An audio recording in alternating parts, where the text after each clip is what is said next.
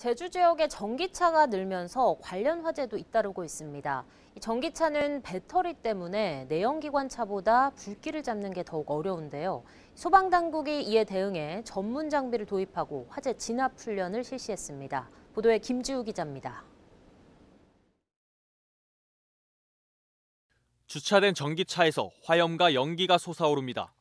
소방대원들이 연신 물을 쏴보지만 불길은 쉽사리 잡히지 않습니다.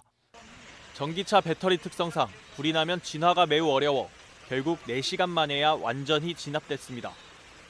이 같은 문제를 해결하기 위해 소방당국이 진압 훈련에 나섰습니다. 불에 타지 않는 대형 질식 소화포로 화재 차량을 덮습니다.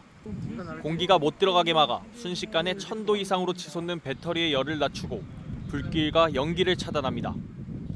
이번에는 전기차 주변에 물막이판을 설치해 배터리 높이까지 물을 채우고 화재를 진압합니다.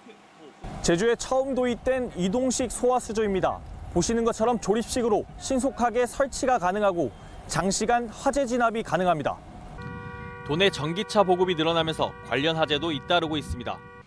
지난 2019년 첫 전기차 화재 이후 현재까지 5건이 발생했고 이 가운데 3건이 올해 일어났습니다. 전기차에서 화재가 발생하면은 어, 배터리 그 열폭주 현상으로 해서 진압하는데 상당히 어려움이 있습니다. 이런 화재를 대응하기 위해서 오늘 훈련을 추진하게 됐습니다. 소방당국은 앞으로 전기차 화재 대응 교육을 강화하고 전문 장비 도입을 확대할 계획입니다. KCTV 뉴스 김지우입니다.